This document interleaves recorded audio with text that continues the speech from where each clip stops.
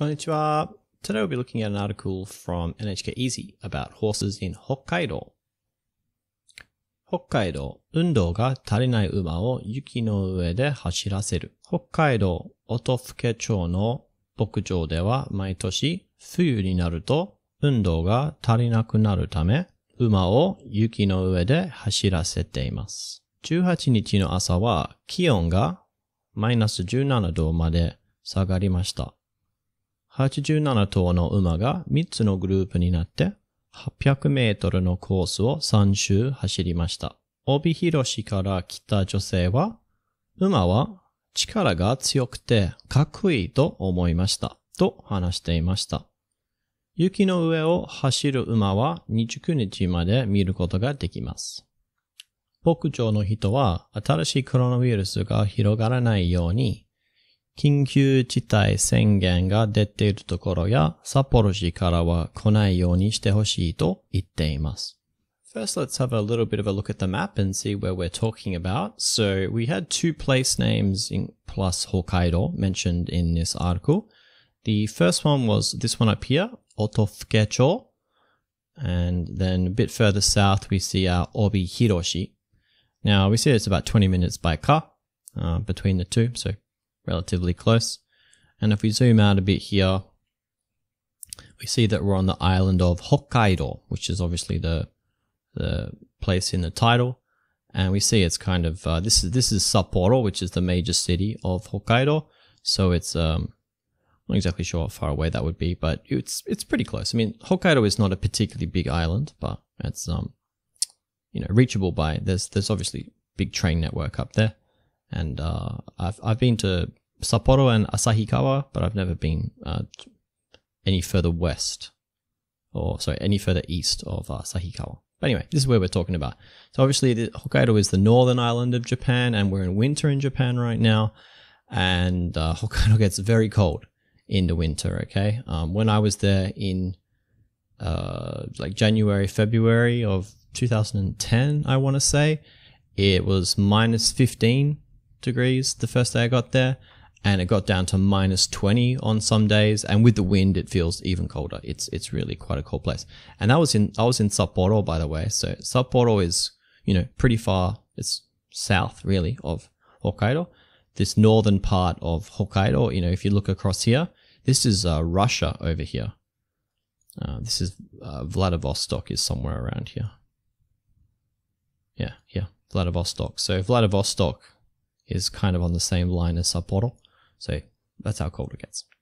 Now, as always, when reading these types of articles online, uh, NHK Easy, of course, has this bit where you can turn on the furigana, uh, which is always useful if you can't read something. Another option when reading articles like this is using Rikai-chan. And uh, Rikai-chan, uh, I've done a video about this before, but we can basically highlight things and it'll work out what the word is. But we don't need Rikai-chan for this one. So Hokkaido, so this is our island, of course, up north. We've got undo ga uma. All right, now, of course, we're dealing with horses, and this, these are our uma. And what we see going on here is that it's we're kind of describing uma using this little clause here, I guess you call this, and it's undo ga. Now, undo is exercise or activity, and tarinai is the negative of tariru. And tariru is to be sufficient, so tarinai to not be sufficient. And our ga particle is showing us that undo ga tarinai. So basically it's saying horses which are not getting enough exercise, which don't have enough exercise. Or, so basically that thing, yuki no ue de hashiraseru. Now, hashiraseru is a little bit of a tricky word. Uh, it's a kind of an advanced grammar point, I would say, but this hashiraseru means kind of to force someone to do something or to let someone to do something. It depends on the context here. And it's conjugated version of hashiru, which is to run. So it's basically to force someone to run. In this case, it's the horses, right? Now, in this situation, it's kind of forcing the horses to run, and we can see that relationship here because it's this or, right? Right, this is how treat this the the horses which don't get enough exercise are being forced to run. I guess you could say made to run. Force maybe a bit of a strong word, but anyway. And then we see it's uh, yuki no ue de. So on top of the snow, running along the snow, which is of course what we can see is happening in this picture. All right. So first of all, we're talking about our uh, our Otofukecho, so that city I showed you on the map before. Now this is a bit of a tricky word, bokujo. You can also read this as makiba, uh, but basically this is a like a cattle ranch or a, a stock ranch, so a farm which has livestock on it, generally uh, cows is going to be the big one, but this one is horses. So dewa mai toshi. So every year on this farm, we'll say in Hokkaido, this cattle ranch, uh, horse ranch, uh, fuyu ni naru to. All right, So here to is our natural conditional.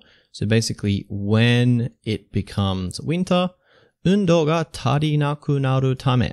All right, now I mentioned before that Hokkaido gets very cold, and this means that it's a problem for the horses, right? They, uh, uh, um, a bokujo is like a big wide open farm with place to walk around and get exercise normally.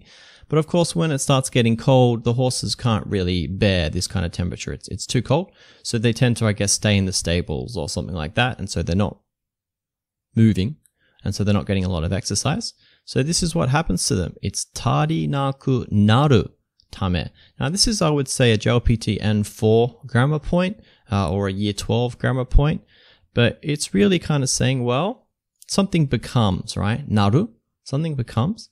And what does it become? Tari naku naru. So it kind of becomes insufficient and undo. Yeah? So it's kind of saying, well, as it becomes winter, the horses are kind of stuck inside their stables, uh, which is referred to as a baba, uh, I think.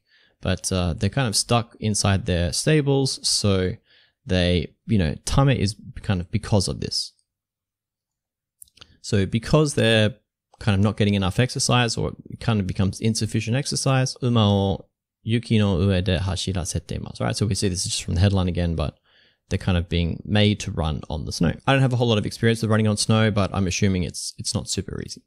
So it's good exercise. Juhachinichi no asawa, so the morning of the 18th. Now we can see that this article was published on the 20th. So it was uh, Hatsuka desu So two days earlier. So Juhachinichi no asawa, so that's the morning of the 18th. Kion ga minus 17 do made sagarimashita. Now kion is our air temperature and minus junana do, obviously minus 17 degrees, made sagarimashita. So the temperature dropped until uh, minus 17. Okay, so minus 17 is basically the minimum temperature for that morning. It fell all the way to minus 17. So pretty cold, but not unusual, uh, as I mentioned before, not unusual weather for Hokkaido at this time of year. We've got 87 to. Now, if you watch my earlier video I did on counters, I mentioned this one, but to is used to count large animals. Okay, so here a horse counts as a large animal. So 87 to no umaga, so uh, 87 horses uh, ga mitsu no group ni natte, so they were kind of put into three groups. 800メートルのコース, so 800 meter course, を3周走りました. Now, this is another counter, 3周. This wasn't, this wasn't in my counter video, so this is a bit of an advanced one. And we can see it's that number three entry in there, counter for laps or circuits. Okay, so we've got an 800 meter course and they've been made to do three laps of the 800 meter course. Obihiroshi, uh, this is that other place that I point out, the city of Obihiro. Karakita Jose. So a woman who came from Obihiro wa. So as for her, uh, Uma wa chikara ga tsuyokute. So they're, they're powerful, they're strong. Kakkoi to omoimashita. I thought they were cute. Now, this uh, is an interesting grammatical point, and this is where English and Japanese do differ a little bit. So when you think about this, they're interviewing this woman after the fact, right? And go, hey, how'd you, what'd you think about the horses? And she's kind of saying, "Oh, I thought they were cool, or I thought they were awesome," kind of thing. Kakoi can have a few translations, but notice kakoi is in the present tense, whereas omoimashita is I thought. This is in the past tense. But if you notice what we say in English, I thought they were cool. I thought they looked cool. I don't know, some kind of situation like that. We're also putting, you know, technically kakoi into the past tense as well, but you don't do that in Japanese. This is a big difference between the two languages. And the reason is that when you say to or mo, you are quoting your thought at that time. So when she saw the horses at that time, she thought they are cool. And she's just quoting, well, that was the thought I had back then. So you say to omoimashita. Okay? Now, you could also say kakko yokatta desu. Chika, you know, you could say uma wa chikara ga tsuyokute kakko yokatta desu. That would be fine. You say they were cool. But if you're specifically talking about the thought you had, you have to say the thought in the present tense. And I guess it's not technically the present tense, but it's it's the present tense as of the time that you thought the thought. And then you say omoimashita to put that thought into the past. So a big difference there.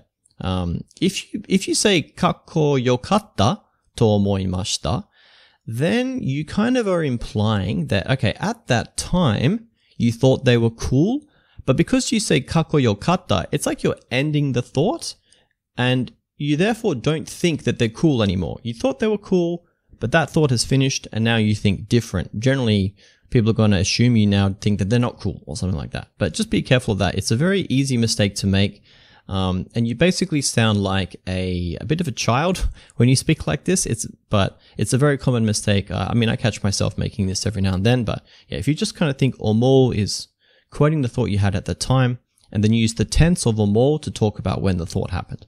That's how I kind of approach it. Uh, the Imabi website has a good uh, under the the heading is called the particle to to. Um, so just have a go and check that out um, to get a good explanation of how to omo works. Anyway, so taught hanash deimashita. So she said this thing to the reporter or whatever. Yunoe hashiru umawa. So the horses that run on the snow. Niju kunichi made miru koto ga dekimasu. Now, miru koto ga dekimasu. You can see something. Uh, I've got another video on potentials if you want to check that out. And niju kunichi made. So as of this article, nine more days. Okay, so until nine more days, you can see them running on the snow. Now, Take note here that this doesn't necessarily mean you won't ever be able to see these horses again. Of course, they're still on the farm. You just won't be able to see them run on the snow until next year, I guess. Last little bit, bokujo no hito wa, so basically the farmers, right, the people who work on the farm.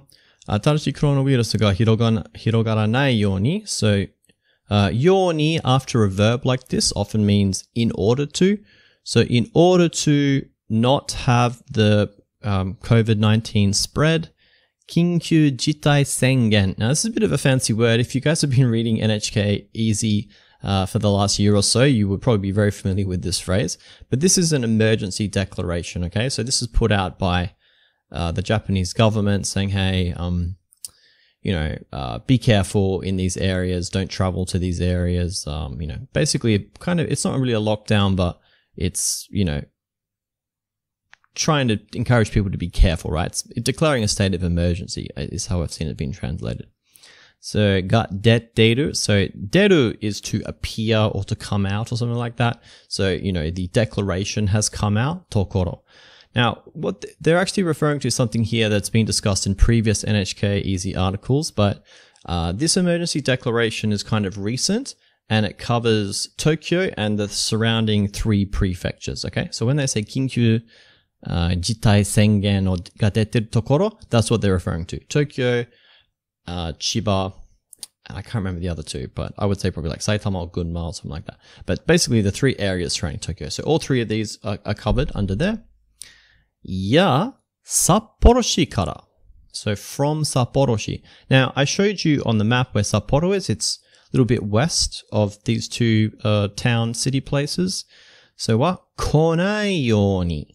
Now, we saw earlier that yoni, when it came after a verb, kind of, we have this little shorthand phrase of in order to, to capture the meaning of this.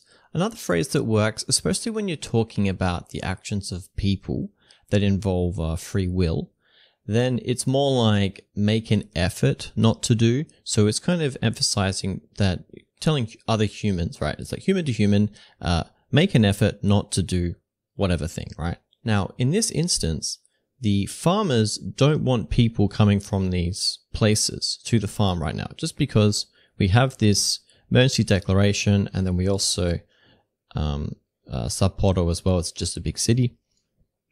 So um, maybe people would like to go out and see it. You know, for example, this woman uh, before, you know, she came all the way from a nearby place to come see it. So maybe other people might want to do that. But they're just saying, well, uh, if that was the case, you know, make a conscious effort to not come. Konai shite. And then this uh, ni shite comes from our ni suru. I've done a video on this, you can check it out. But it means to make a conscious choice. So they, the farmers are basically saying, we want you to make a conscious choice to take steps to avoid coming here if you're coming from these places. All right. Now, this is a pretty common way of speaking in Japanese, but it's kind of the two ways that a yoni sentence can go. This first time, hirogaranai yoni, kind of we, we don't, you know, we're doing things in order so that the virus doesn't spread. Um, there's not really a human, uh, we're not attributing anything to the virus per se there. Just kind of saying, well, we are going to take steps.